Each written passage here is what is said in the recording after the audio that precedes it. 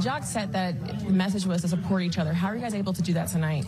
Um, just we just came to play basketball, man. Um, we played a great game. I think guys was locked in from the beginning. You know all the stuff we got going on with the team. I just think like we just like um, zeroed in and uh, blocked all that stuff out and got the win. I mean, talk about zeroing in 32 assists tonight. What did you see that allowed you guys to move the ball so effectively on the offensive end?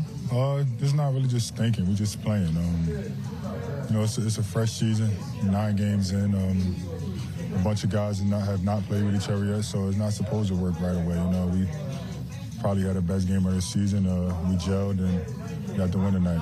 You guys had to play a small ball lineup. How are you guys able to be to contain it and be so effective on that side? Uh, just playing hard. We seen that we had the advantage of running the floor.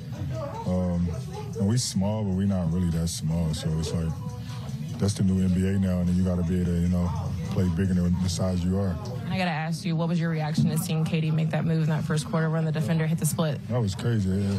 I seen somebody drop somebody, but when you go for all four moves, that's when that's when it's crazy. But God, that's my guy, so I hope he good.